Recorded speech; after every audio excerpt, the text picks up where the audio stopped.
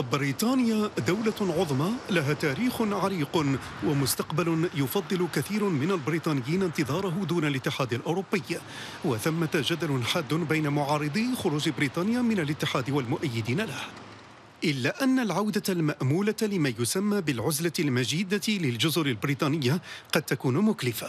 فقد أظهرت دراسة أجرتها مؤسسة بيرتلسمان عام 2015 إمكانية انخفاض الأداء الاقتصادي للبلاد عام 2030 حتى 3% بعد خروج بريطانيا. وقد تصل التكلفة إلى 300 مليار يورو.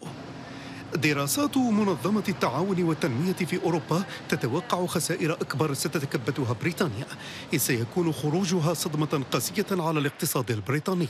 وفي المقابل ستكون التكلفة بالنسبة إلى دول الاتحاد الأوروبي منخفضة ومتباينة أيضا حسب علاقاتها الاقتصادية مع بريطانيا. في ألمانيا مثلا سيتراجع الناتج المحلي الإجمالي عام 2030 بنسبة 0.3 فضلا عن وجوب دفع حكومتها أكثر لميزانية الاتحاد الأوروبي بمليارين ونصف مليار يورو لتعويض حصة لندن من الميزانية.